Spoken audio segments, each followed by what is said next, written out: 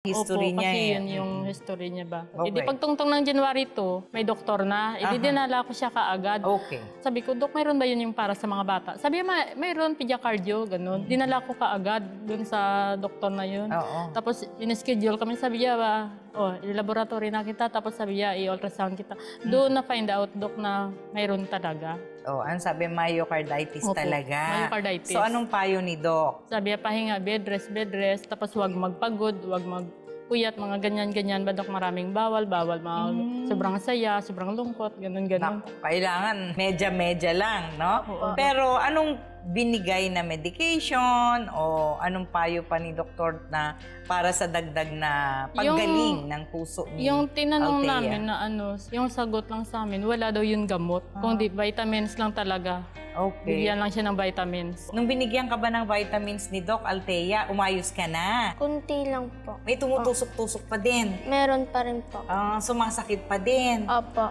Pero nabawasan ba yung ano o kapareho lang o mas lalong tumindi? Pareho lang po. Sa hiling galing din umabot si Althea. Opo, Dok. At paano kayo nakarating sa hiling galing? Sa main office ba? Yes po, Dok. Ah, okay. Kayo yung sinasabing pasyente ni Ate Pine, si Meno. Oo, opo. Okay. O sino ang angel nyo? Ayun, yung kumare ko, Dok. Ang Anong pangalan ni ko. Kumare? Batiin mo siya sa TV. Ayan, si Christine Ibado. Hello. Si Christine, buti na lang, nalaman ni Christine na may problema kayo. Opo. Ayun na sabi niya, itry na lang daw sa healing galing. Kasi nung February yun, na-admit na siya. Pina-admit ng doktor. Sa ospital. Opo. Kasi nahirapan ng huminga. Yun nga, Dok, yung daing niya. Tapos, Nang nagpa-check sa main office ng Healing Galing, yung healing food tablet kaagad eh, di ba? Opo, Dok. Ang binigay ni Ate Pine Simeno. Kasi nga, yung healing food tablets, aba, ilang piraso ba yun? Kasi bata pa to. tig sa sampu, Dok. Tigsa sampu na din? Opo. Aba, mega dose na din ng ano, healing food tablets, yung Berdin tabletas, anak, no? Ah, kompleto yun ng vitamins and minerals at ang pinakamataas doon ay yung potassium para palakasin ang heart muscles ni ano ni Althea. Kasi po, Dok, nakita yung sa dila, ayan. Maraming dot-dot. Maraming hangin. Pag Opo. ang dila po ng pasyente ay maraming ah, parang kinikilabutan, di ba? Yung skin natin pag Opo. kinikilabutan, maraming tuldok-tuldok na ganon. Ganon ang nakita sa dila ni Opo, Althea. tapos parang maputla siya. Ah, ang maputla, lalo na kailangan niya yung healing food tablets kasi nga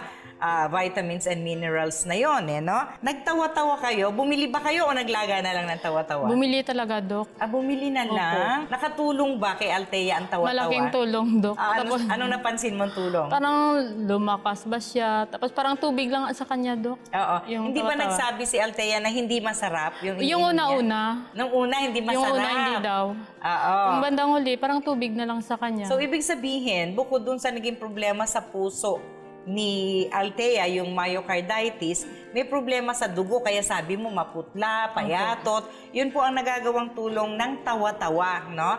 Sa main office po ng Healing Galing at sa ating mga outlets, distilled tawa-tawa po ang ating dinidistribute. Kaya tawa-tawa tonic ang tawag natin.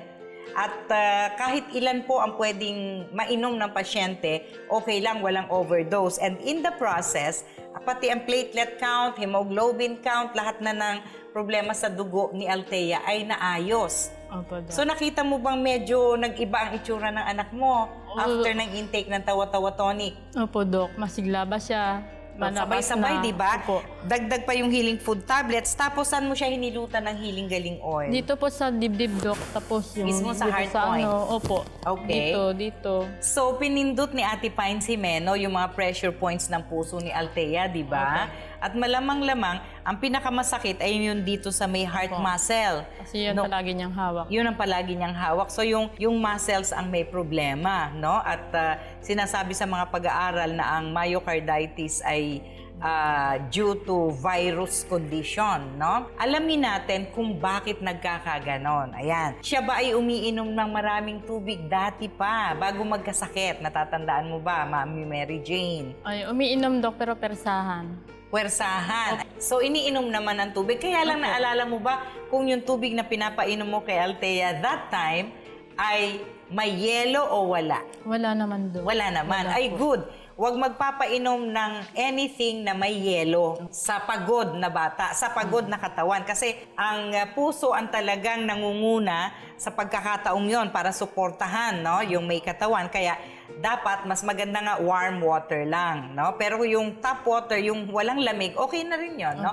Wag lang yung may yelo. Okay. Yung mga ulam na niluluto mo ba ay mas malamang na prito o may sabaw? Yun lang, Dok, pag pumunta talaga sa mga labas-labas. Yung mga pagkain maiinit sa katawan, no?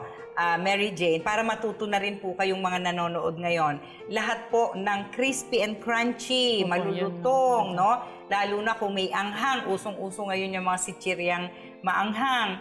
Tapos yung mamantika, simula sa sinangag, pinirito, ginisa, inihaw na may taba-taba.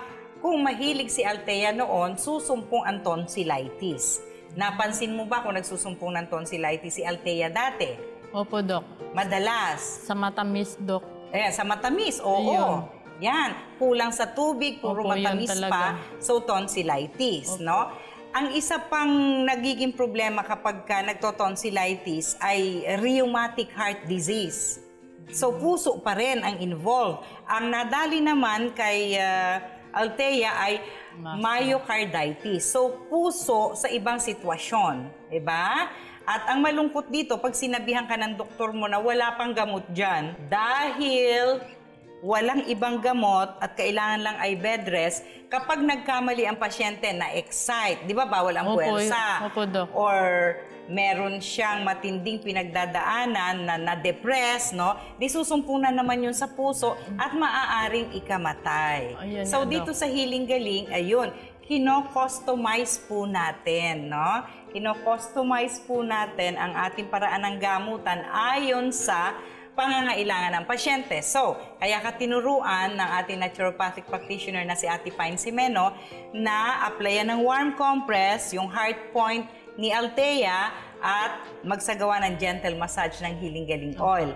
Naalala mo ba kung saan mo pa hinihilot si Althea? Dito, Dok.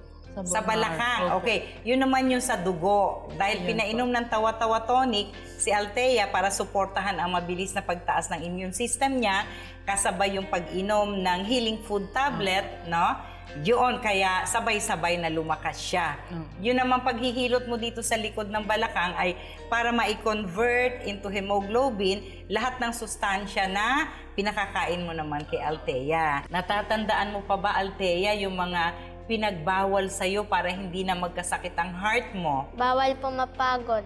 Okay, very good. Bawal po matulog ng late. Ano pa yung bawal? Pagkain. Bawal po kumain po ng cholesterol. Ah, mataas sa cholesterol. Ay, very good. Bakit ko po pina-enumerate ulit kay Althea? Kasi kung yung may katawan ay natatandaan niya yung mga bagay na makakasama sa kanyang kalusugan, edi hindi na sa magkakasakit kasi alam niya. Kesa yung nag-aalaga ang nakakaalam at yung may katawan ay hindi alam, di ba? So ngayon, kumusta na ang puso mo? Ikwento mo nga anong kaibahan nung puso mo dati at puso mo ngayon, Althea. Yung dati po, kumikirot po tapos ang hirap puminga. Ngayon Mahirap po, huminga, oo. maginhawa na po tapos normal na po. Normal na. Tapos Opo. nakakasayaw ka na ulit. Opo, Wala na yung tusok-tusok kahit konti. Wala na. wala na po. Abo talaga magaling Wala na na. daw kasi nakailang check-up na kami na ilang laboratory na. Okay. O, nakakatuwa, di ba? Oo nga, Dok. At bukod sa atin, natutuwa din si Chef Jeremy Fabia. Kaya maganda sa puso itong kanyang pin-repair.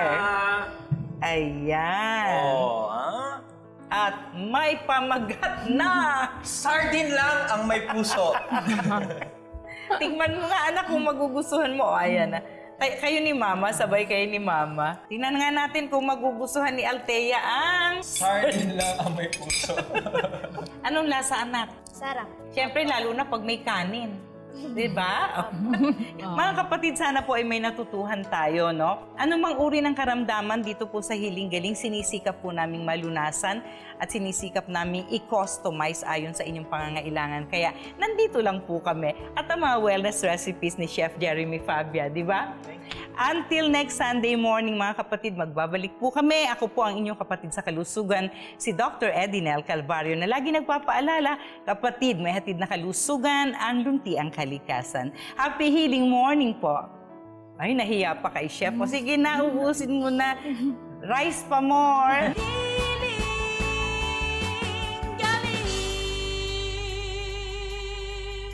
May tinatayang 284 million people sa buong mundo, mga kapatid, ang nakaranas na ng anxiety disorder.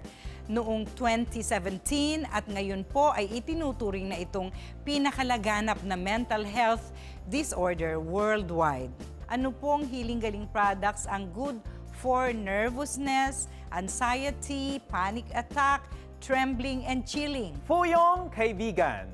Yan po ang Fuyong Kaibigan ko para sa inyo para hindi na kayo mag-worry. Bago maggabi, natatakot na po ako, ayaw ko po ng gabi. Kumakabog tsaka ma- malakas po yung tintig ng puso, mabilis po. So, nag-develop ka ng takot sa loob ng kalooban mo nang hindi mo maipahiliwanag na takot. Po nararamdaman ko po ganun. anxiety, depression, at iba pang mental health problems. Tatalakayin ni Dr. E sa Hiling Galing sa TV, Sunday, 7 a.m. on 5.